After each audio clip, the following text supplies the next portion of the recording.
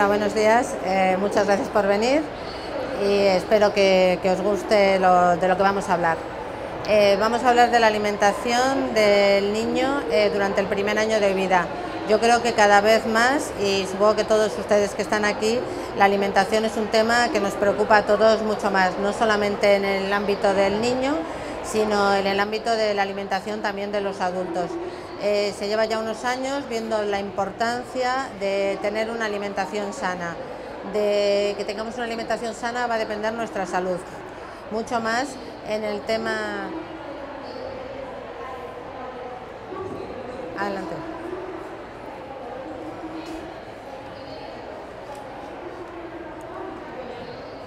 Eh, eh, mucho más en el tema del niño durante el primer año de vida. El, año de vida es el periodo más crítico de la vida de los niños, ya que un niño puede aumentar en el primer año un 50% su peso y hasta un tres veces más su talla. Eh, la alimentación es muy importante en este periodo porque el niño va a sufrir una serie de cambios tanto de su desarrollo físico como de su desarrollo psicomotriz. Eh, es muy importante que inculquemos buenos hábitos. Eh, los hábitos que inculquemos en este primer año van a hacer que los niños en un futuro tengan una, alimentación saludable y que coman adecuadamente. Eh, como vamos a ver, no va a ser lo mismo la alimentación de un bebé recién nacido que está en su cuco que la alimentación de un niño que empieza a sentarse, que empieza a gatear o que empieza a andar. Aquí vemos el bebé, esto es lo que llamamos el periodo neonatal. El periodo neonatal es el que va en el primer mes de vida de los niños. Han visto que hay un paralelismo con el pecho. La mayoría de los bebés en este momento están tomando lactancia materna. Eh, puede haber madres que no se la den, bien porque tienen enfermedades que la contraindican, que están tomando medicaciones que la contraindican, o madres que libremente no desean dar pecho, que tampoco tiene ninguna trascendencia. Son libres, igual ahora se está penalizando mucho a las mujeres que no quieren dar pecho, que están en su derecho también. ¿eh? Posteriormente eh, tenemos el periodo que se llama de lactante, que empieza a partir del primer mes de vida hasta los dos añitos. Ahí el niño va a sufrir muchos cambios. Eh, vamos viendo ya que va apareciendo un biberón, porque va a haber madres que van, empiezan a trabajar y tienen que compatibilizar el pecho con una lactancia mixta eh, va a haber otros niños que bueno, ya están solamente con lactancia artificial porque no les llega, no tienen ya pecho. Otros van a seguir con pecho, indudablemente. Y luego ya tenemos aquí un bebecito de seis meses, que ya empezamos con la alimentación complementaria. Y ya vemos ahí un, un casito con los purés. Y luego ya el niño ya empieza a desarrollarse más, que es el periodo que va de los 2 a los 5 años, que es el periodo preescolar que yo creo que habría que cambiar un poquito el nombre porque la mayor parte de los niños ya empiezan a ir a guarderías, a escuelas infantiles, pero bueno, realmente no es todavía colegio, ¿no? Y luego ya tenemos el periodo, la edad media de la vida que se llama ahora, que es desde los 5 años hasta los 11 años, que antiguamente se llamaba periodo escolar. ¿eh? Y aquí ya las necesidades, ya es un niño que come solo, eh, que ya puede abrir el frigorífico, eh, que puede coger cosas. Entonces, aquí sí que hay que tener importancia los hábitos de los padres. Si unos padres están todo el día comprando chuches, no quiero decir magdalenas, donuts, el niño va a abrir el armario y los va a coger. Entonces es muy importante la alimentación que tengan los padres, porque si los padres no comen fruta o verdura y no ven a sus padres comerla, ellos tampoco la van a comer. Entonces en este periodo de la vida es muy importante lo que, lo que tengan en los armarios y los frigoríficos. ¿eh? La leche materna. Eh, como todos sabemos, no creo que vayamos a descubrir nada nuevo, la lactancia materna es el mejor alimento que puede tener un niño en los seis primeros meses de vida cumple totalmente todos sus requisitos nutricionales. Se ha visto incluso que madres de niños prematuros la leche está mucho más enriquecida que una madre de un niño a término. Varía la composición de la leche. Eh, eh, supongo que saben que la primera leche es lo que se llama calostro o los calostros, como dice mucha gente. Es una leche como amarillenta, eh, muy rica en proteínas para los primeros días de la vida del niño. Luego pasamos a una leche de transición que es un poquito más aguada. Muchas veces los padres me dicen, es que es como agua. Digo, paciencia, que en unos días ya es la lactancia definitiva. Eh, sí que es verdad que hay madres que tienen la subida enseguida y hay otras que les cuesta un poquito más. Entonces, a medida que el niño vaya succionando, eh, va estimulando el sistema nervioso central una glándula que produce la prolactina, que es una hormona que nos ayuda a que las madres puedan, puedan tener leche. Entonces muchas veces al principio no hay que desesperarse, igual al principio necesitan una ayuda artificial, pero luego eh, a medida que vayan succionando van a tener más leche. ¿eh? como todos sabemos, aparte establece una muy buena relación con el niño, es muy cómodo, se puede dar en cualquier momento, en fin, nada que no sepamos nadie. Luego tenemos las fórmulas infantiles. En algún momento de la vida hay madres que no, que pueden estar dando el pecho todo el tiempo, pero en algún momento de la vida hay que recurrir a las fórmulas infantiles. Eh, fórmulas infantiles hay de diferentes tipos. Tenemos las fórmulas 1 o de inicio, que son hasta los 6 meses de vida, las fórmulas 2, que son hasta el año, y a partir del año las fórmulas 3. ¿Qué debe cumplir una leche artificial? Eh, pues que permita el desarrollo del niño, que haga que el niño gane bien de peso y de talla, eh, que, le, que le favorezca el desarrollo del sistema nervioso central y de la vista y que proteja al niño. Eh, no son lo mismo las leches, hay muchas leches en el mercado y grandes laboratorios.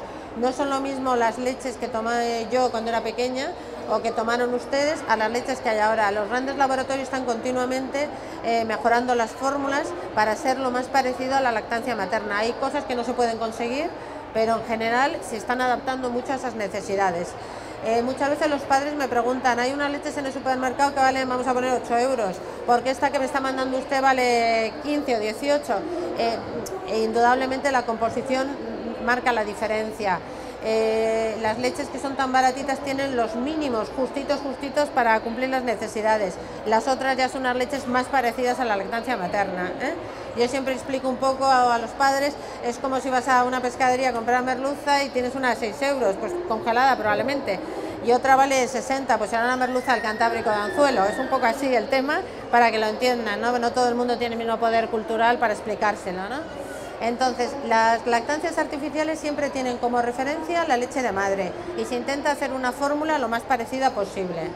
Eh, incluso el laboratorio de hoy, que está organizando esta charla Ordesa, con sus leches Blemil, eh, están modificándolas cada año. Este último año le han agregado a la palabra NutriExpert, que lo verán en los envases.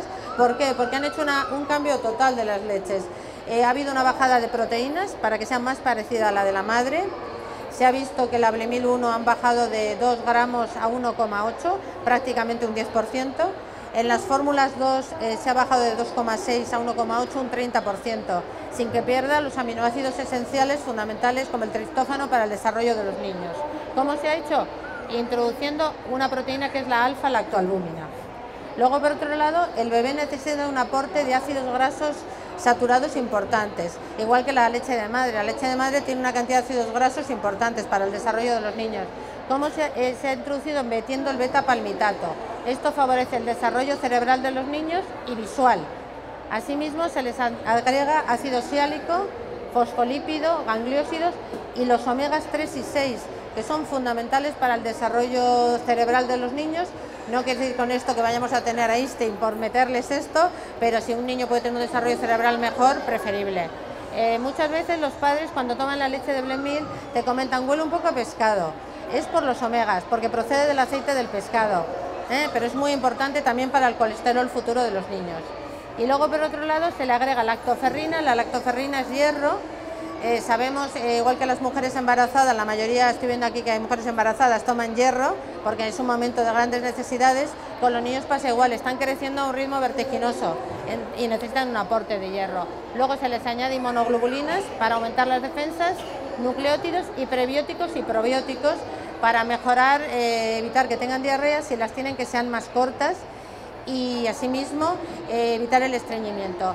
Del beta-palmitato también se me olvidó comentarles que favorece la absorción de todos los ácidos grasos saturados, del calcio, del magnesio y también la formación del surfactante, que es una sustancia eh, que recubre los pulmones, que si alguien ha tenido un niño prematuro es uno de los problemas que puede ocasionar por una falta de surfactante. ¿eh? Es muy importante. Aquí ven la visión. Muchas veces los padres me dicen, ¿el niño ve cuando nace? Los niños ven, ven diferente que nosotros eh, ven un poco borroso, pero un niño ve, vamos, enseguida está él cuando viene a la consulta y en casa mirando todo lo que hay por los alrededores y, vea, y mira a su madre. Lo que pasa es que hasta los tres meses no se, la visión no, no la centra, entonces eh, cada ojito va para un lado, pero el niño ve estupendamente, vamos. El niño que no ve se nota enseguida, no te mira, es, mm, es otra historia. ¿eh? Se me ha olvidado decir si en algún momento quieren hacerme alguna pregunta ahora o pueden esperar al final, eso como ustedes deseen. ¿eh? Bueno, vamos a hablar ahora de, de las... de las alimentaciones complementarias. La ESGAN es el, bueno, la Sociedad Española de, Europea de Gastroenterología, Patología, Nutrición y son un poco las, las recomendaciones que dan a la hora de introducir la alimentación complementaria. La alimentación complementaria es aquella que empezamos a introducir a partir de los seis meses de vida. ¿eh?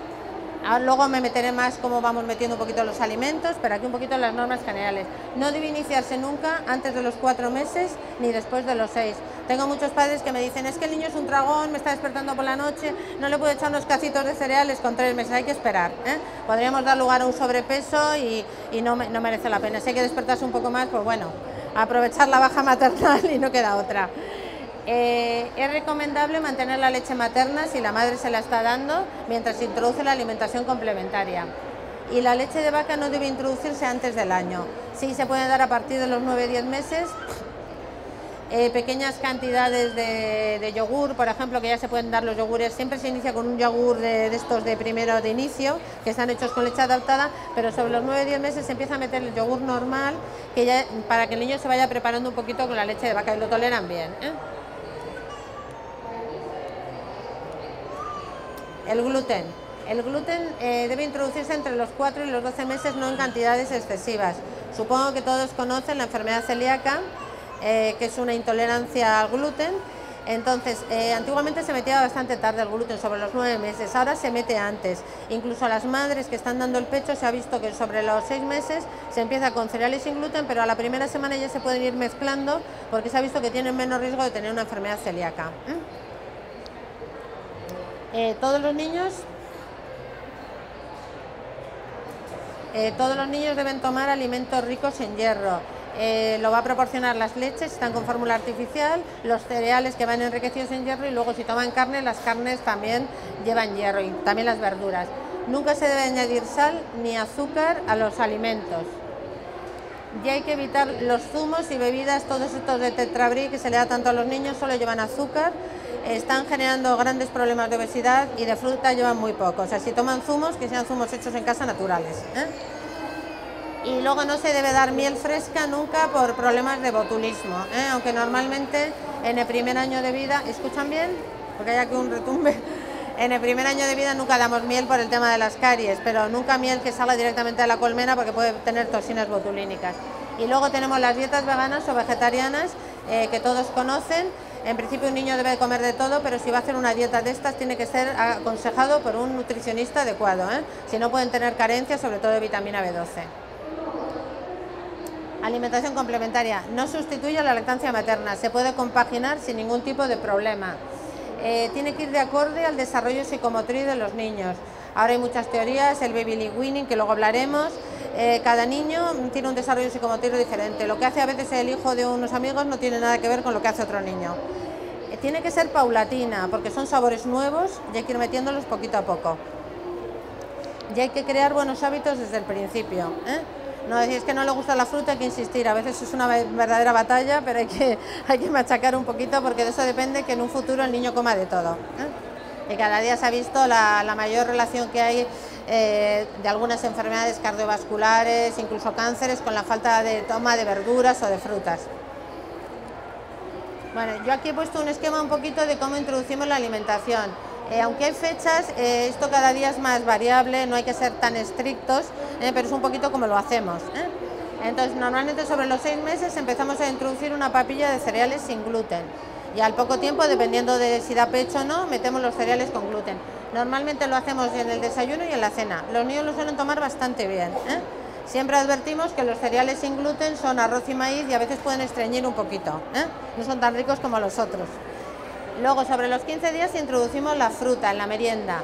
Eh, las frutas que introducimos normalmente van a ser la, la, manzana, la pera, el plátano, la naranja, la mandarina. Normalmente el resto de las frutas, sobre todo las de pelo, melocotón, fresas, son más alergénicas, retrasamos un poquito su inicio. La fruta es lo que más guerra da. Quiero decir, es un tema que, bueno, no sé qué les pasa a los niños con la fruta. Hay niños que la toman muy bien, pero hay niños que les cuesta un poquito. Entonces, a veces hay que hacer trucos o añadir unos cacitos de cereales o echar galletitas sin gluten o con gluten, dependiendo. Y así hacemos un apaño. Las cucharas siempre de plástico o de silicona para no hacer daño, porque en ese momento el niño está enguesando y tiene la esencia de los pobrecitos fatal. ¿eh? Y luego las verduras a los seis meses se introducen cocidas en agua eh, no hay que echar sal ninguna y recomendamos yo por lo menos aceite de oliva virgen extra crudo, sin, freírlo, para evitar problemas de colesterol. ¿eh? Siempre la metemos al mediodía. Las verduras que introducimos van a ser la patata, la zanahoria, el puerro, el apio, calabaza, calabacín y de verduras verdes en este momento solo judía verde y la parte blanca de las acelgas, las pencas, porque son muy ricas en nitritos y sobrecargan mucho el riñón, entonces se deben meter hasta el año. ¿eh? La verdura no suelen tomar bastante bien, curiosamente. Cuando llevan dándole unos días la verdura se empieza a añadir carne de pollo o pavo, unos 50 gramos por día. Tampoco tiene que estar ahí con la báscula aproximadamente, si son 60 o 70 tampoco pasa nada. ¿eh? Se cuece con todo, se quitan los huesos y luego con la máquina que tienen en casa, batidora, termomix, bueno, los mil robots que hay ahora mismo, lo pasan. Y luego a la semanita así añadimos la ternera, ¿eh? lo mismo, la misma cantidad aproximadamente y luego ya sobre los 12 meses introducimos el resto de las verduras. Luego en 9 meses introducimos el pescado, pescado blanco, siempre para empezar, es el menos alergénico. Eh, puede ser merluza, pescadilla, lenguado, gallitos. Siempre procurar que sea en lomitos, para que no tenga espinas. Y si es un pescado fresco, congelarlo de 48 a 72 horas por el tema de los anisakis. Cada vez tenemos más cosas que contaminan los alimentos, hay que ser más cautos.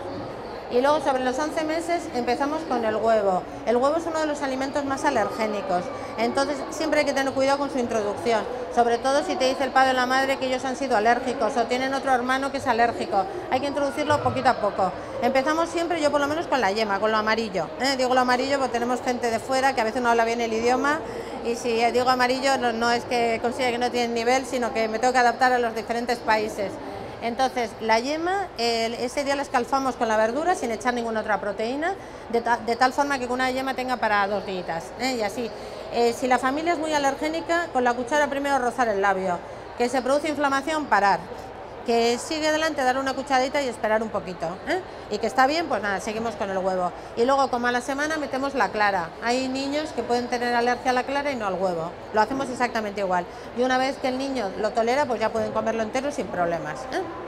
Y luego al año metemos el, resto de las verduras y empezamos a echar un poquito de sal, muy poca sal, porque hay que intentar que los niños coman desde el principio con la menor cantidad de sal posible. ¿eh? Saben ustedes que se está haciendo una campaña con todo tipo de alimentos que vienen precocinados eh, para que bajen las cantidades de sal, ¿eh? porque los temas de hipertensión eh, cada vez en gente más joven están ahí y de colesterol.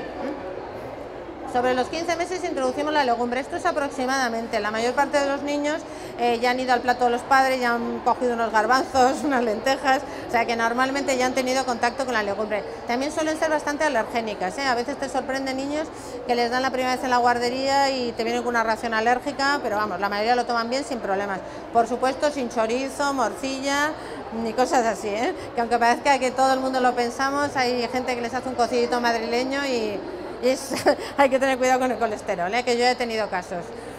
Y, luego no hay que dar frutos secos. Primero, fundamentalmente antes de los tres años, por el riesgo de atragantamiento. Es un, nunca dejar un paquete de cacahuetes, de pipas, además de que se puedan atragantar, que hemos tenido casos, se los pueden meter en las orejas, bueno, todos los orificios son válidos para los niños. En cuanto a administrarlos, se está viendo, por ejemplo, hay a veces galletas o, o algún bizcocho que lleva, que lleva mm, frutos secos. En, Europa en principio los estamos retrasando por el tema de las alergias, pero por ejemplo países como Israel los dan en épocas precoces de la vida y en cambio tienen menos alergias que en Europa, entonces es una cosa a considerar también, ¿eh? pero enteros nunca antes de los tres años, siempre y cuando el niño no se atragante, tenemos niños de tres años que se atragantan con cualquier cosa, eso mucho cuidado. ¿eh? Y hay que, hay que empezar que los niños tengan muy buenos hábitos desde pequeños, no solo con la comida, con el sueño, no puede ser que un niño de dos años esté a la una de la mañana levantado porque no se quiere acostar. ¿eh? Porque los padres están rotos, pero claro, al niño hay que acostumbrarlo a buenos hábitos. Aunque te cueste noches sin dormir, hay que intentarlo. Eh, tienen que tener también buenos hábitos de higiene, acostumbrar, no en un bebé de meses que no se va a duchar solo, pero a medida que crecen, eh, buenos hábitos de lavados dentales, por supuesto, de comer y comer solo y de hacer ejercicio físico, que actualmente estamos teniendo grandes problemas de obesidad por la falta de ejercicio, que no ayuda nada por los tablets, los móviles, los niños se quedan sentados, y entonces esto es un problema no ahora en un niño de un año, pero para, para, un, para un futuro. Y es muy importante lo que hagan los padres en casa, vuelvo a recalcarlo. Eh, yo ayer tuve en la consulta a un padre que el niño no se lavaba los dientes y le dije hay que lavarse los dientes, está lleno de caries. Y el padre, yo no me los lavo ni pienso. Entonces, claro, si un padre ya te contesta eso, pues poco más se puede hacer. Si tu hijo ve que tú no te lavas los dientes, ni la madre tampoco, pues y que están todo el día comiendo caramelos, el niño hace lo mismo, pues está sin dientes, ¿eh? con tres añitos. Una cosa que se me ha olvidado comentar antes, cuando hemos hablado de los zumos, de Tetravis sí pueden tomar zumos naturales. ¿eh? Hay que procurar que si los toman con biberón, eh, que, no que, lo, que, lo, tengan mientras lo está tomando, pero que no dejen jugar nunca con un biberón que lleve leche o, o zumos, porque por el azúcar puede provocar caries de biberón. Ahora en España la verdad es que entre la población no está disminuido mucho, pero estamos teniendo también población, por ejemplo, de Rumanía, que, vienen todavía con estas caries negras de, biberón. Y eso es importante. Pueden jugar con un biberón de agua, pero no con, otro tipo de biberones. Hay que tener en cuenta que hay muchas culturas, quiere decir mucha gente de países diferentes que tienen hábitos diferentes. Entonces hay hábitos excelentes, pero hay otros que también hay que modificar. Cada país tiene unas costumbres alimenticias. Por ejemplo, yo tengo familias polacas que la sopa es muy importante. ¿Cuándo le meto la sopita? ¿no? Y aquí igual la sopita pues la metemos más tarde. ¿no? Entonces hay que adaptarse un poco a las costumbres de, cada país, ¿eh? que no son ni mejores ni peores, pero adaptarse. Luego la leche de vaca. Eh, muchas veces los padres me preguntan, ¿por qué no podemos dar leche de vaca todavía? ¿no? La leche... La leche de vaca van a ver una diferencia entre las dos fórmulas. Uy, va.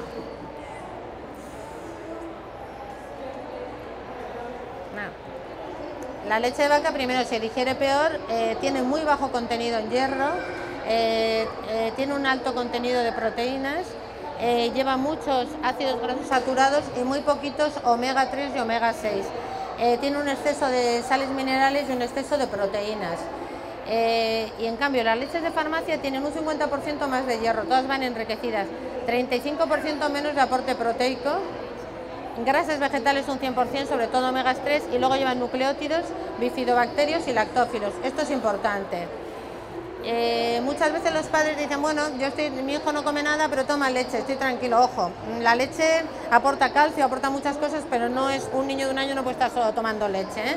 Ahora mismo hay, aunque hay una gran preocupación por la alimentación, tenemos niños que comen fatal y los padres con tal de que coman, si se toma dos litros de leche, pues se los ha tomado, pero estamos aportándole mucha grasa, colesterol y hay que tener cuidado. Aunque es preferible que coman poquito de todo, pero que coman fruta, que coman verdura, esto es fundamental.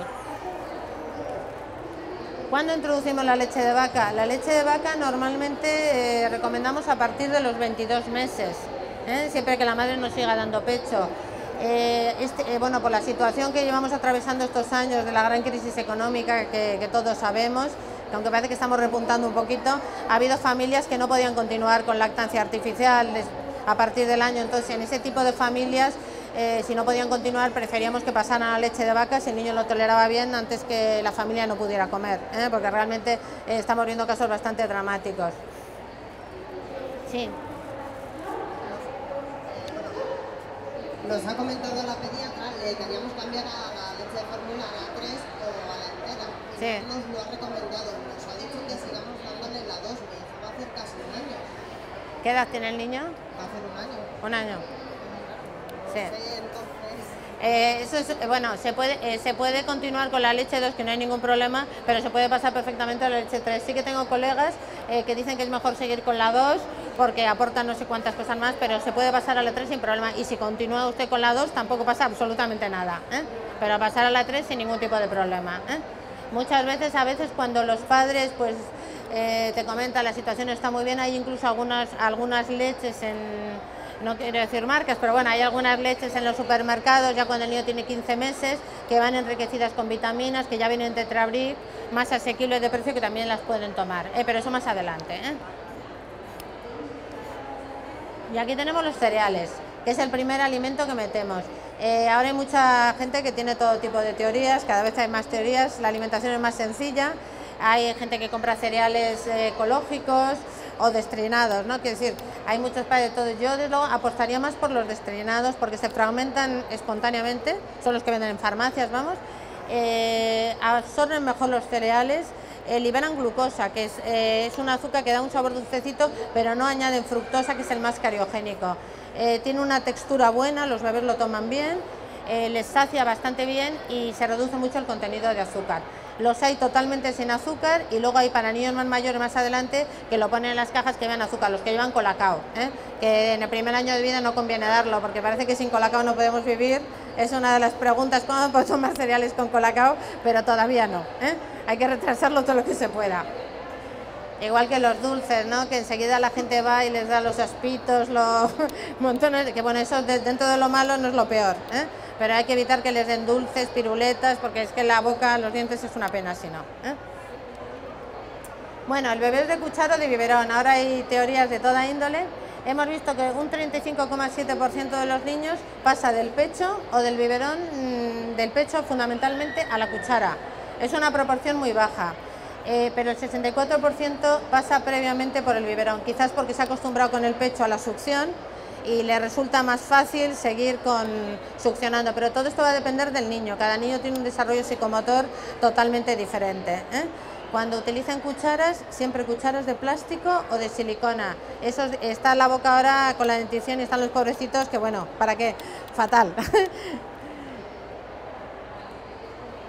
¿Qué ocurre con la introducción de los alimentos salados? Son alimentos nuevos. El niño está acostumbrado bien al pecho o bien a la leche artificial, que es mucho más dulce. Entonces se encuentra de repente con un sabor nuevo, sobre todo la fruta, que es lo primero que empezamos y que la mayor parte de los niños no sabemos el porqué, lo que hemos dicho antes, la fruta es una cosa como terrible, ¿no? Entonces se pueden hacer trucos, lo que hemos comentado, o añadir cereales o añadir galletitas, ¿eh? sin o con gluten y luego la verdura eh, la toman normalmente bastante bien, no suele haber problemas, porque además siempre de base hay que poner eh, patata. La patata da una textura muy suave, a la cual le puedes añadir calabaza, judías verdes, con lo cual la toman bastante bien, es lo que normalmente mejor toman. ¿eh? Yo tengo incluso un niño en mi consulta que es lo único que come todas las tomas de verdura, porque no le gusta nada, o sea, un horror, pero bueno, no sé cómo nos está ya el pobre de verduras, pero bueno. Luego hay, hay fórmulas de artificiales, yo siempre recomiendo más eh, productos naturales, pero si alguna vez van de viaje y tienen que recurrir a potitos o cosas de estas, pues se puede hacer. ¿eh? Pero siempre yo prefiero que sean alimentos naturales. ¿eh? El Babili Winning, que supongo que todo el mundo ha ido a hablar, se están publicando muchos libros, es la alimentación del bebé desde los seis meses dirigida por ellos mismos. Eh, ponerles un platito con cosas blanditas, claro, no puede ser cualquier cosa, trocitos de zanahoria, lo que sea, y que ellos mismos se lo lleven a la boca. Yo hasta ahora en mi experiencia, desde luego ningún niño de mi consulta coge nada, bueno, lo coge y lo tira, pero ninguno se está comiendo así solo, la mayoría pasan a purés y a medida que el desarrollo psicomotor de los niños lo va aconsejando, se van haciendo menos pasados, o sea, tenemos niños con 9 o 10 meses que los padres les dan trocitos los mastican sin problemas, pero otros realmente nada, otros a veces tienen 15 meses y en cuanto hay un, tropezón lo echan todo. O sea que es, mm, está ahí porque hay niños que lo hacen bien, pero hay que tener mucho cuidado, ¿eh? porque tampoco comerían la cantidad suficiente. Es un tema discutido, eh, muy en boga ahora mismo, pero bueno, yo realmente en mi consulta no tengo a nadie que lo esté haciendo. Más adelante sí, ¿eh? pero cada niño es un mundo, nunca podemos generalizar. Tengo niñas de 7 meses que comen trozos de pollo sin dientes y otros tienen dos años y es un calvario. ¿eh? Y ahora vamos a hablar un poco de trastornos habituales en el primer año de vida. Eh, pueden ser las regurgitaciones, el cólico del lactante, el estreñimiento o la diarrea.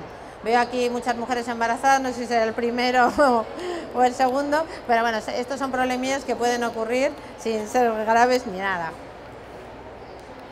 Tenemos, eh, debo preocuparme si un bebé regurgita, es muy, es muy frecuente que te vengan los padres, eh, sobre todo padres primerizos, porque claro, no tienen ni idea de estas cosas, a la consulta diciendo el bebé está vomitando continuamente, estoy muy preocupado, ya les ves entrando por la puerta, el padre aquí con una mancha de vómito, la madre, a los cinco minutos yo, en fin. Eh, hay que diferenciar entre el vómito, que es suele haber una náusea previa, el niño echa una gran cantidad, pueden ser escopetazos, decimos cuando salen así, como una escopeta, o en más cantidad y el niño se pone pálido, como cuando vomitamos nosotros. ¿eh? A una regurgitación que es que el niño está echando a poquitos entre tomas todo el tiempo.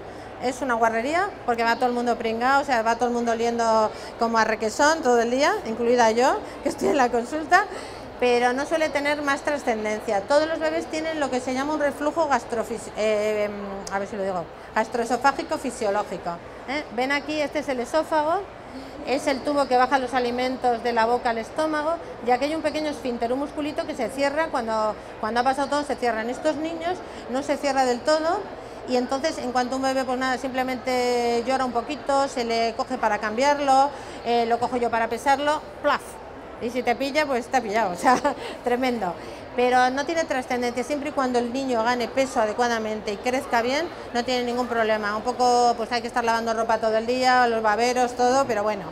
Eh, se pueden hacer a veces algunas medidas, se pueden poner, por ejemplo, un tratamiento postural poniéndole el cuco, la cuna, en un ángulo de 30 grados. Se ponen unos taquitos en las patas de donde está la almohada y para que el niño esté en un ángulo de 30 grados de tal forma que va a echar menos. Eh, si el tema preocupa mucho a los padres, también hay leches antirregurgitantes que se pueden dar, ¿eh? que llevan semillas de algarrobo, son más espesas y hacen que el niño vomite menos. Y luego a medida que vayamos metiendo las papillas, al ser ya más espesas, esto irá desapareciendo. ¿eh?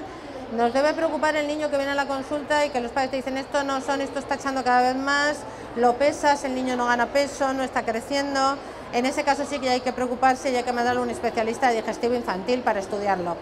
Que muchos van a necesitar una medicación y en algunos casos muy poquitos un tratamiento quirúrgico, pero una medicación. En esos casos sí. Por eso digo que cada niño es un mundo y siempre que hay regurgitaciones, siempre yo por lo menos estoy muy pendiente vigilando el peso para ver que vaya todo bien. Mi bebé llora mucho. Esto es un grave problema porque ¿quién quiere que un niño llore? Eh, sí que tenemos bebés que son muy llorones. Eh, hay padres que me cuentan, bueno, desde que salen al mundo empiezan a llorar y yo creo que no paran. O sea, lloran en casa, lloran cuando se les baña, en la consulta. Esos padres solo te vienen diciendo es un llorón, pero está siempre igual. Pero el llanto que debe preocupar es el, niño que normalmente está bien y que de repente un día empieza a llorar sin saber por qué. Eso es el que a los padres les alarma, el llanto es diferente y eso debe alarmar un poquito. Puede ser por muchas causas, porque esté estreñido, porque tenga una intolerancia a proteínas de leche de vaca lactosa, una inmadurez digestiva o un reflujo gastroesofágico. Pero lo más frecuente es que tenga cólicos, los cólicos del lactante. Es un proceso que acaba y termina sobre los cinco meses.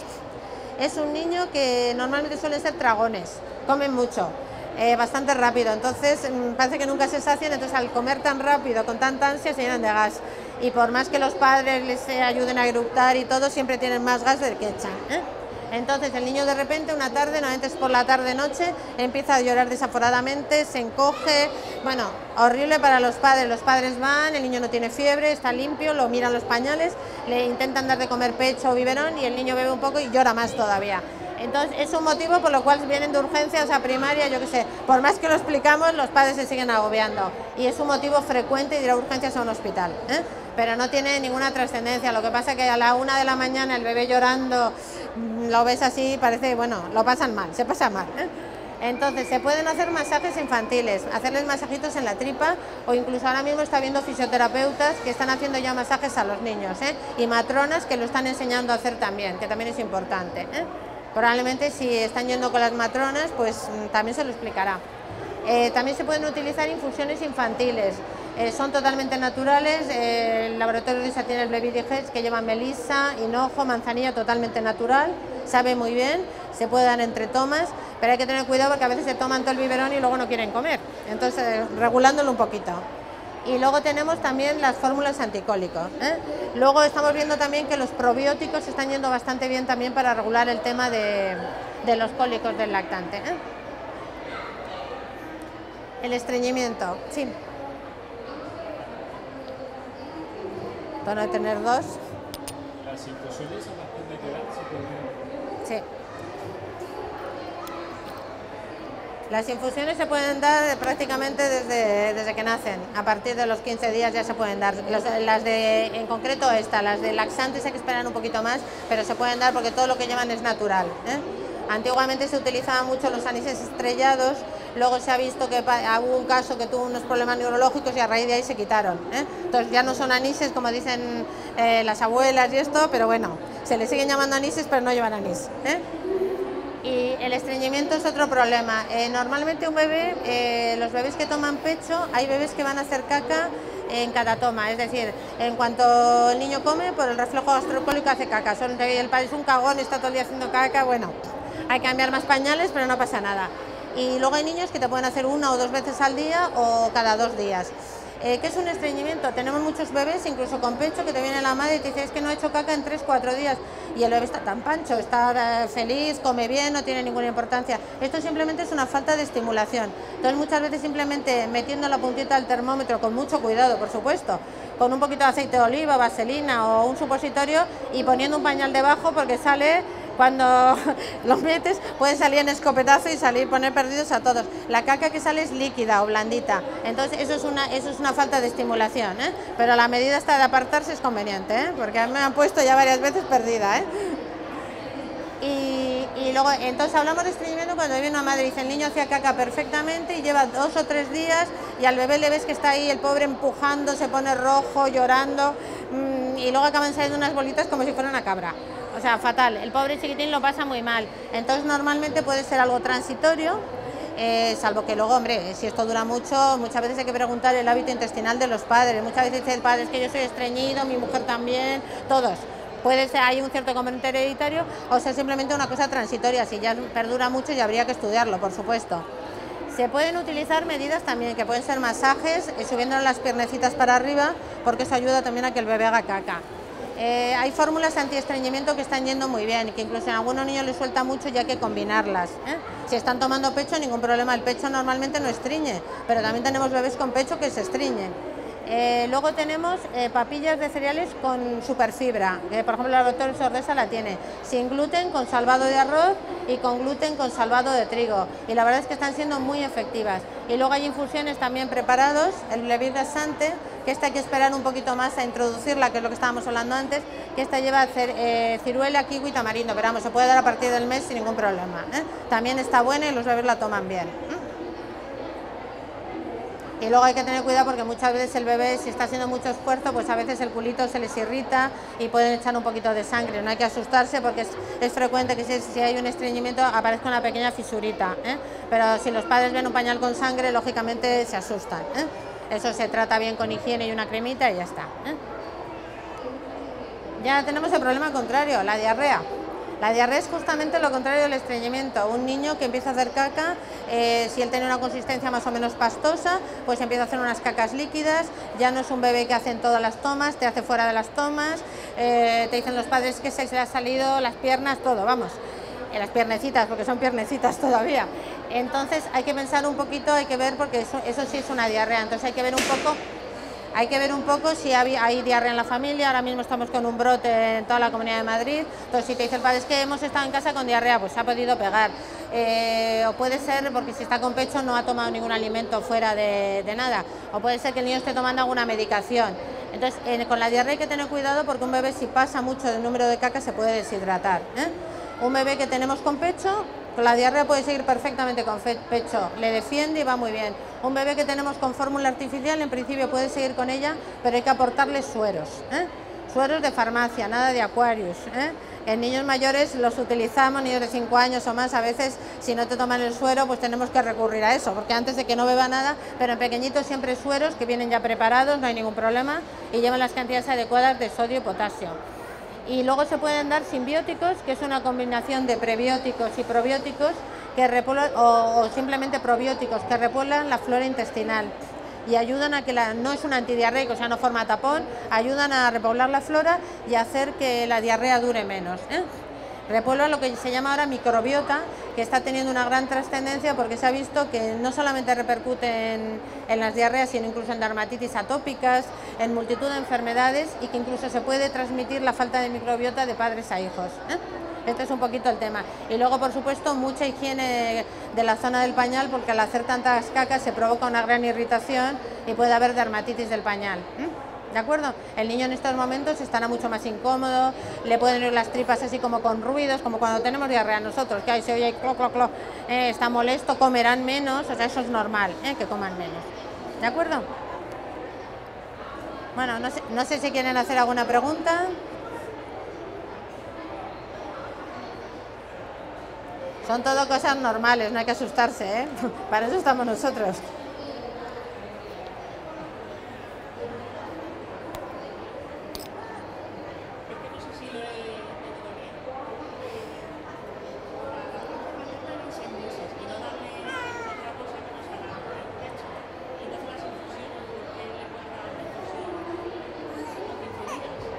¿Perdón?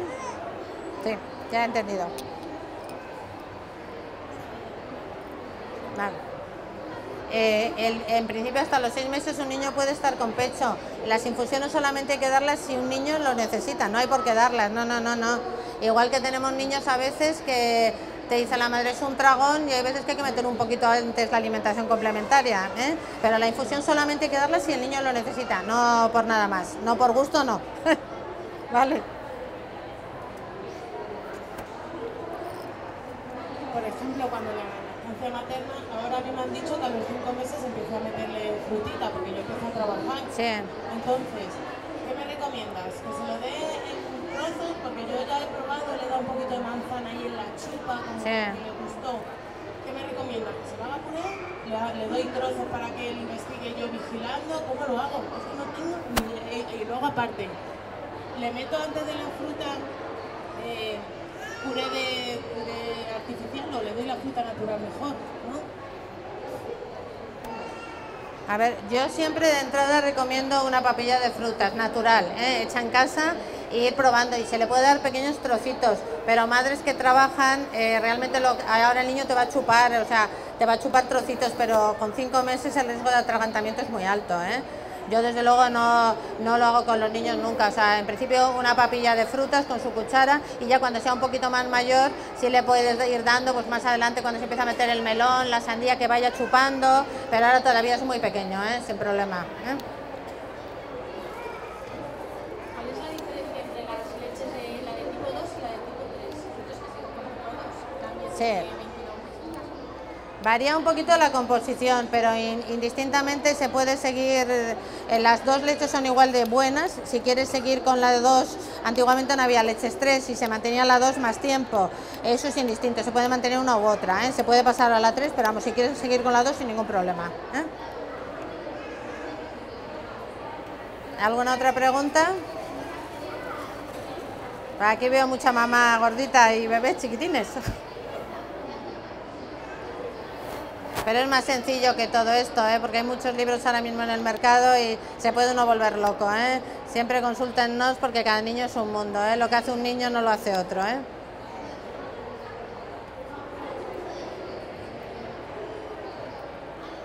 Perdón, no te había visto.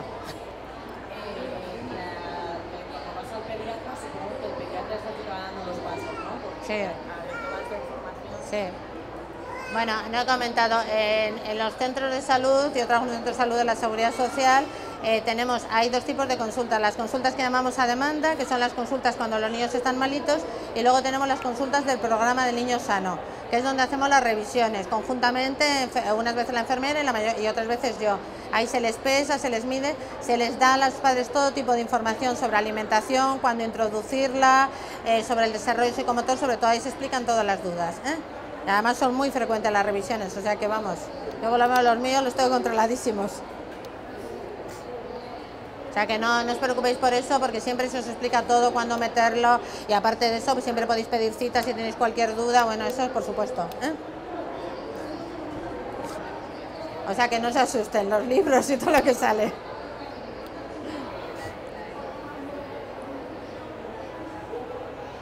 ¿Alguna otra cosa?